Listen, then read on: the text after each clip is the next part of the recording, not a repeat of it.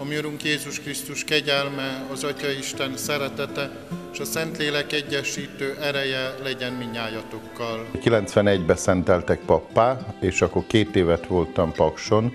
Káplán az volt ugye az első idézőjelbe téve papi szerelemnek a, a helye, az első hely.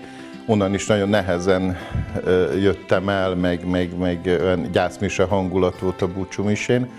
Aztán Szexádra kerültem egy évre, Béla atya mellé, és onnan kilenc évet voltam Felső-Szent Mártonba, ez a Dráva partján van, tehát igazából az én horvát népem között, mert én Drávasztárai vagyok. Igazából egymásra épül a mi papi életünknek a munkája, tehát ugye az én plébános elődeim, a közvetlen elődöm Farkas Béla atya volt, aki tavaly halt meg, ő is pont 14 évet volt Szexárdon, aztán előtte Májer Püspök úr csak négy és fél évet volt, ő a rendszerváltás előtti években volt ott plébános, és a rendszerváltás kor annak a mesdjéjén lett ugye Pécsi megyés püspök.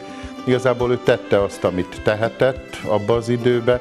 A Béla atya meg, meg megnyitotta a plébániának az ajtaját a különféle lelkiségi csoportok előtt, és amikor én oda mentem, én eh, folytattam ezt, de mégiscsak eh, talán kettő volt olyan, ami az én időmben honosodott meg. Az egyik az a, a Mónikások, a Szent Mónika közösség, az édesanyák, akik, eh, akik imádkoznak a gyermekeikért. A másik pedig a, az ifjú házasoknak a csoportja, mert ugye a házas hétvégés csoportok a Béla atya idejében elindultak, én azokat folytattam, és a 14 év alatt minden évben volt úgynevezett házas hétvége, amikor megszólítottuk azokat a házas párokat, akik erre nyitottak, csak azoknak volt, ott volt egy kis űr, hogy akik házasságot kötöttek, de még ugye nem telt el annyi idő, hogy ebbe a házas hétvégébe bekapcsolódjanak, mert szoktuk mondani, hogy akik még a rózsaszín szemüvegen keresztül néznek, azok azért ne jöjjenek a házas hétvégére, mert ott egy kicsit a